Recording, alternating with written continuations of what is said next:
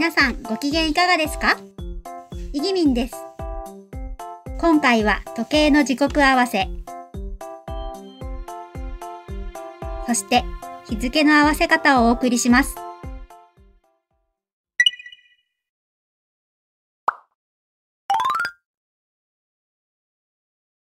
31日を飛ばして1日にするケースを行います。2、4、6、9、11月は31日より日にちが短いため、翌月1日に日付調整を行う必要があります。流図を引き出し、時刻を送ります。丸2日動かすようかなじゃあ30日なんで31日に変わりました。このまま回し続けて1日にします。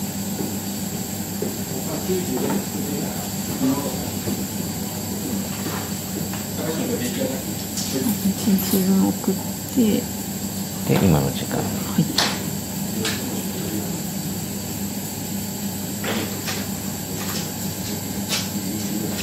はい。では以上です。注意することは。ないですね特に、ない。り回しで回してるんで。全然問題ないです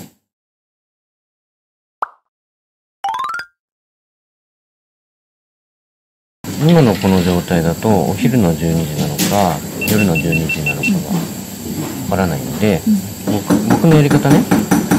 僕のやり方はまずこれでこっちのカレンダーの張り回しで日付を一回そうすると今夜中の12時ですよっていうのが分かるんでさらにもう一周させるんですよね。確実にお昼の12時にそう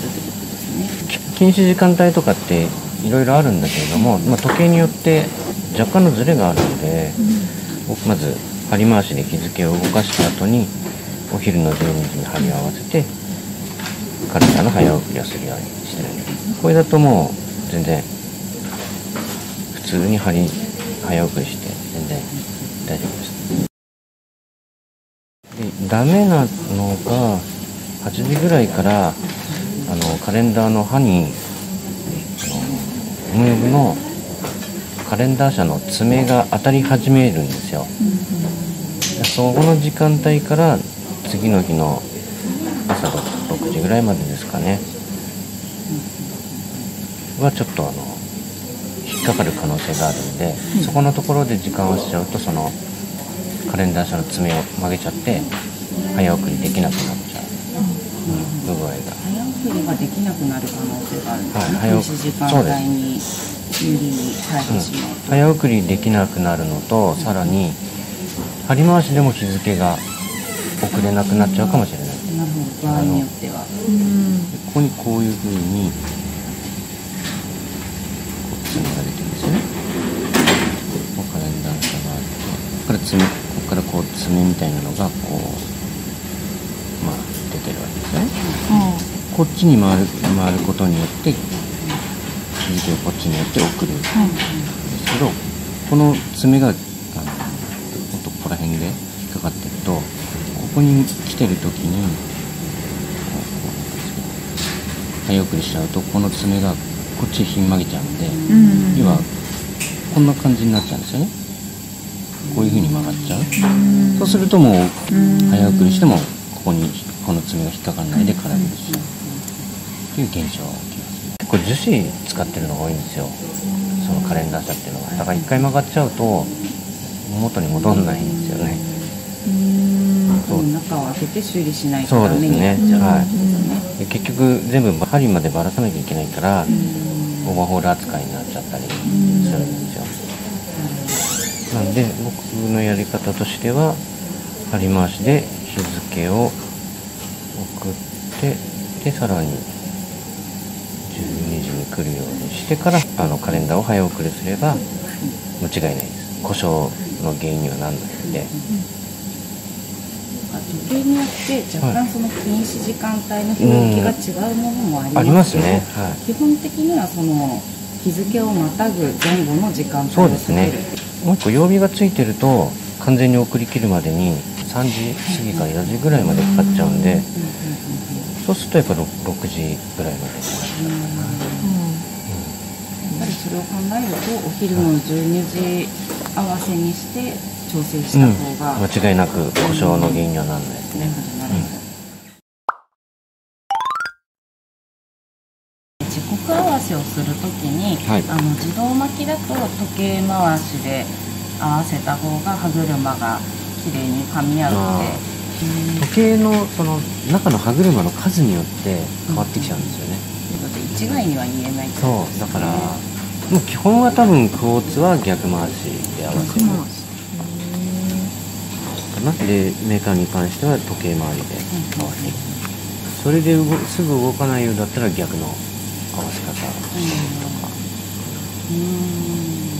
もう時刻を合わせるときにあ12分行き過ぎちゃったみたいな時ってあると思うんですけど、はい。自動巻きの時計で折りすぎちゃって戻してもう一回合わせ直すってなった時にどのぐらい戻すのがいいですかね5分ぐらい。あ5分ぐらい。で合わせたい時間の5分ぐらいで大丈夫です5分ぐらい戻してからもう一回合わせ直せば歯車はもう一回夫噛み合ってくれる